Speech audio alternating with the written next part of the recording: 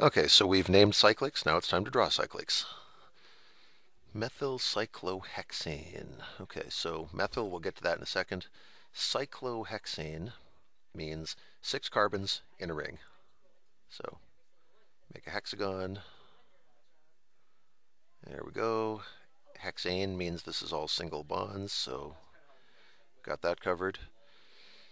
And methyl means there's a methyl group on one of these carbons, and no matter where we put it, that's carbon number one. So you can't misplace a methyl group in a cyclic like this when it's the only thing.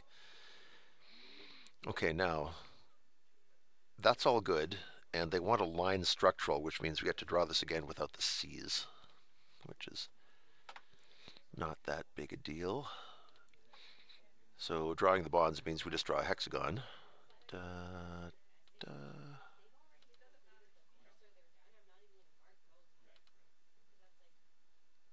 Okay, and then somewhere on this you put a methyl group. You can pick any carbon you like. There you go, methyl cyclohexane.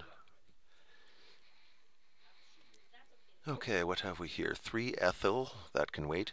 Cyclohexene. Okay, so six carbons again because cyclohex. We'll tie them all together just so that our molecule doesn't fall apart on us. And now hexene means somewhere there is a double bond. I'll put it here. And that means either my numbering has to go 1, 2, or it has to go 1, 2. Um, I guess it's up to me since I'm drawing it, so I'll go clockwise. We'll say that's carbon number 1. That's number 2. There. Okay, so if it were just cyclohexene, we would now be done. But then they say on carbon number 3, there is an ethyl group. So right here, another carbon, and another carbon. So 3-ethyl cyclohexene. Now, they want condensed structural for this one, and that means they want to hear about hydrogen. So let me get these numbers out of the way. So for this, we're thinking every carbon can form four bonds. How many have we used already? This carbon's got one there, two there, three, so it's only got room for a single hydrogen. This one's using three bonds, so it's only got room for one hydrogen. This one's using three bonds, it can hold one hydrogen. This one's got two bonds used up, it can hold two hydrogen. Two bonds, two hydrogen, two bonds, two hydrogen. Uh, over here, this one's got two bonds, so it can hold two hydrogen. And this one on the tail end is only using one bond so far, so it can take three hydrogen. Okay, 3,4-dimethyl, that can wait. Cyclopentene.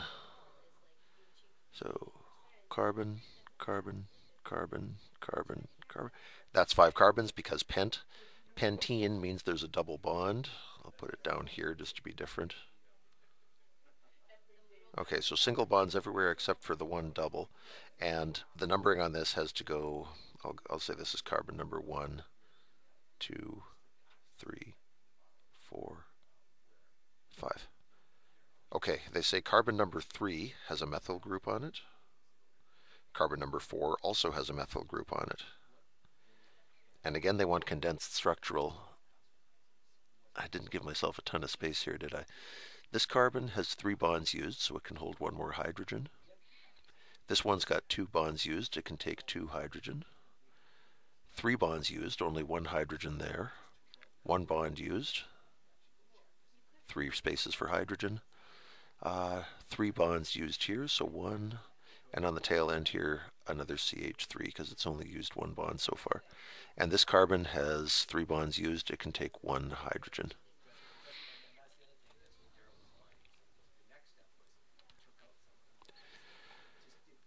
Okay, methyl cyclopropane. Propane means three carbons.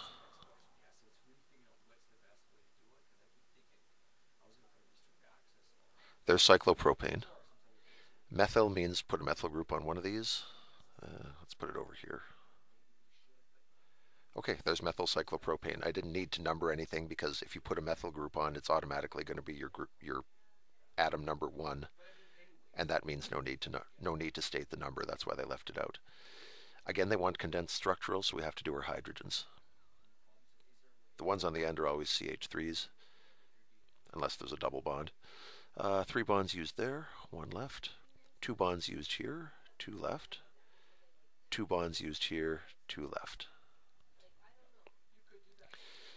Propyl cyclohexane. That means six in a ring. Two, three, four, five, six. Okay, there's cyclohexane. Propyl is three carbons attached to carbon number one, and carbon number one is wherever I want it to be, so I'll put it over here because I have space over here. There's cyclopropyl cyclohexane. And condensed structural again, so in goes the hydrogen. Uh, CH2. Two bonds used means two left. Here we've used three, only one left. All these are going to be CH2s because they all have two bonds. They're all holding on to their neighbors to the left and right, which gives them two hands left over because they're four-handed carbon atoms. Good. And the big finish, cycloheptane. Two, three, four, five, six, seven. Don't draw heptagons very often, but there you go. There's cycloheptane. Carbon number one can be wherever I want. I'll put it at the top. So we'll say this is carbon number one, two, three, four, and I'll go clockwise because I think that's easier for most people. Carbon number one has an ethyl group on it. So C, C. Sorry about the bend, ran out of space. Carbon number two has a methyl group on it. Carbon number three has a methyl group on it. And again, they ask for condensed structural, so here. We'll give you the gift of not watching me write hydrogens all over. So that should be it. And a couple more. 4-ethyl, 3-methyl, this can wait. Cyclopentene, that means five carbons in a ring. Pentene means there's a double bond someplace. I'll put it there because I always seem to put it in the top right. I don't know why. So there's cyclopentene, and these two atoms now get to be number one, number two, number three, number four, and five. Because I get to decide what the order is, and I'm going to go kind of like a clock, makes it a little easier. 4-ethyl and 3-methyl, so a carbon there. And for this they want line structural, which means you just draw the bonds without the C's, which isn't too bad. Double bond up there. When there's double bonds in a cyclic, you normally put them on the inside. So pent means draw a pentagon as nicely as you can. And then you put another line on the inside like so to show the double bond, or the triple if you had to. And then let's see, so that's carbon number one, two, three has a methyl group on it, and four has an ethyl group on it, one, two. Something like that. And final attempt to break us, let's see, blah, blah, blah, blah, blah, blah, blah. Ignore all that. Cyclohexene is where we start. One, two, three, four, five, six. That would be cyclohexane. Hexene means we put a double bond in. And my usual numbering, one at the top and clockwise. You don't have to go that way, but it's nice to have a standard just because it gets you in the groove a little faster. The third, or sorry, I'll start at the end. 6-ethyl. The sixth atom has an ethyl group on it, so carbon there and then another one. And then atoms 3 and 4 have methyl groups on them. So something like that. And if in line structural form, this would mean first try to draw a nice hexagon. Should be easy, kind of isn't. Uh, okay, there's our hexagon. Double bond, I decided it would go top right.